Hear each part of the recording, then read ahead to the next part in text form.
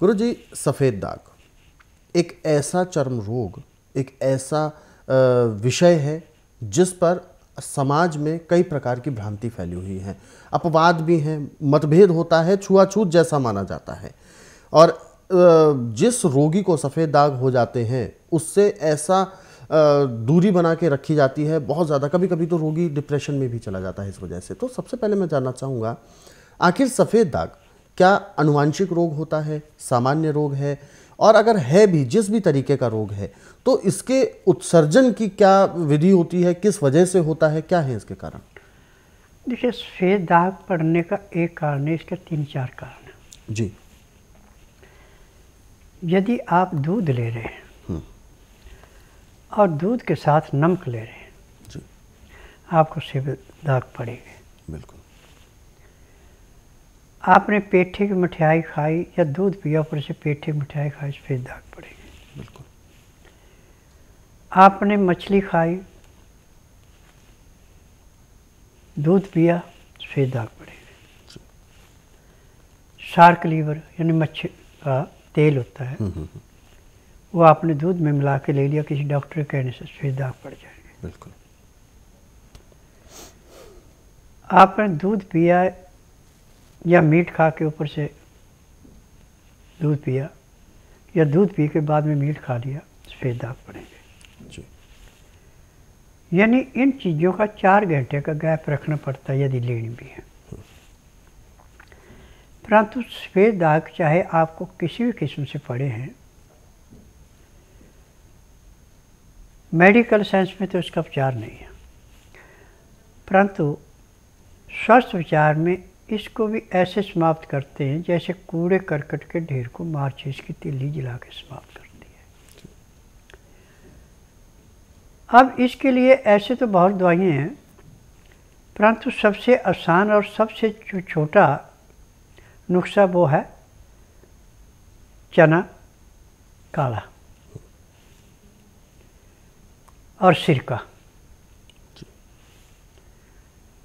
आप सुबह सिरके के अंदर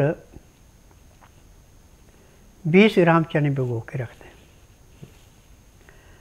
शाम को सिरके में से निकाल करके तिरफला, हरड़ भेड़ा आमले को तिरफला बोलते हैं। परंतु तिरफले की रेशा है कि 10 ग्राम हरड़ है तो 20 ग्राम भेड़ा और 40 ग्राम आंवला।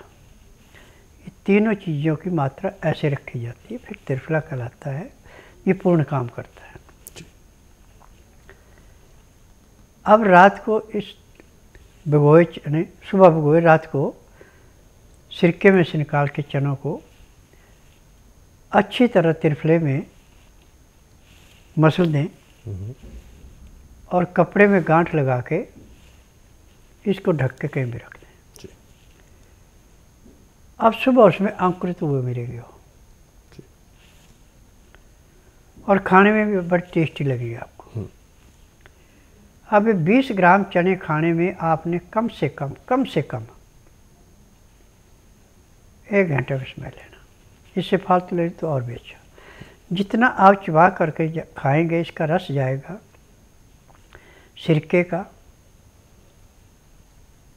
और तिरफिले का चने के छिलके और दाल के साथ। उतना आपके खून के अंदर जो है इन्फेक्शन के कीटाणु थे जिनमें सफ़ेद दाग पड़े थे, वो कीटाणु समाप्त हो जाएँगे। और डेढ़ दो महीने बाद आपकी चमड़ी जैसी पहले थी वैसी हो जाएगी। परंतु इसमें एक बात का ध्यान रखना कि दिन का खाना आपका 12 बजे से पहले पहले है। और खाना खाने में भी आपने पूरा एक घंटा लगाना है। खाना खाते समय दो गिलास गर्म पानी, पंद्रह से अठारह डिग्री गर्म हो। उसमें लहसुन, प्याज, अदरक का रस मिला के पीना अति आवश्यक है। उसका नियम है कि जो भी आपने खाना खाना है, उसका छिलका नहीं निकालना। चोकर नहीं निकालनी। चोकर के साथ ही रोटी बनानी है। दाल, सब्ज़ी जो है, छिलके वाली। अब इसमें आपने दो चार ग्राय खाना खाया, दो घुट पानी पिया। फिर दो चार ग्राही खाना खाया, दो घुट पानी पिया।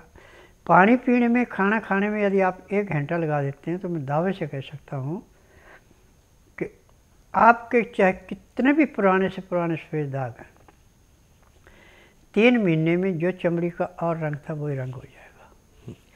परंतु इसमें आपको एक तेल की मालिश करनी है। तिलों का तेल लें चाहे सरसों का तेल लें जितना आपने तेल लिया, उतना लहसुन छिल के रख दें।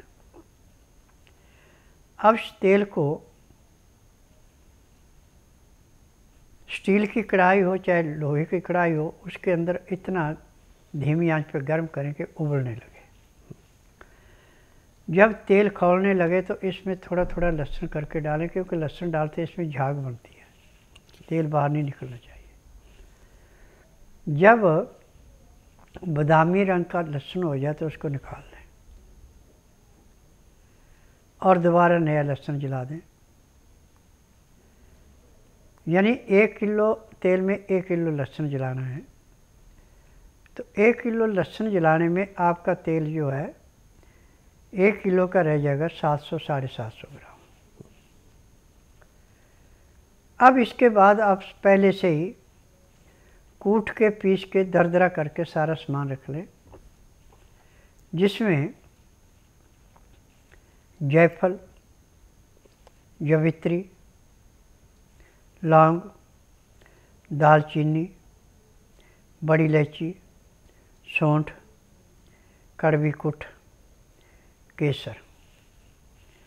ये आठ चीज़ें सूती कपड़े में ढीली गांठ बाँध के उस तेल के अंदर डाल दें। अब इस तेल को आपने धीमी आँच पे तीन घंटे उबालना है। अब इनका सब चीज़ों का रस जो है वो तेल में चला जाएगा।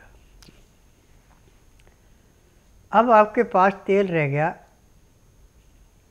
250-300 ग्राम इससे ज़्यादा नहीं। जलने देना। अब जब आपका तेल थोड़ा रह गया, नीचे उतार लिया और उसके अंदर से वो गांठ निकाल करके थोड़ी देर ऐसे उठा उठा के रखनी, फिर आस्ता आस्ता किसी चीज़ से उसको दबाना जो उसके अंदर तेल है, वो सारा निकल जाए। फिर जब थोड़ी ठंडी हो जाए तो आप हाथ से दबा के उस तेल को निकाल लेना। अब जो चीज़ें आपके पास ये गांठ बाँध के रखी थी सारी चीज़ें कूट के पीस के इसका पाउडर बना लें। और जो आपका तेल है, इसको लाल रंग की बोतलों, कांच की बोतलों तो सोने पे सुहागा ऐसे केमिकल की बोतलें आती हैं चार चार लीटर की, पाँच लीटर की होती हैं। उनमें इस तेल को धूप में रखें और इसके अंदर 20 ग्राम देसी कपूर डाल देना। दिन में दो तीन बार इस तेल को ढक्कन खोल के हिलाना, क्योंकि गैस बनती है, हिलाने से गैस निकल जाएगी और तेल में कोई नुकसान नहीं होगा। चालीस दिन धूप में रखने के बाद अब इस तेल को आपने मालिश किया करनी।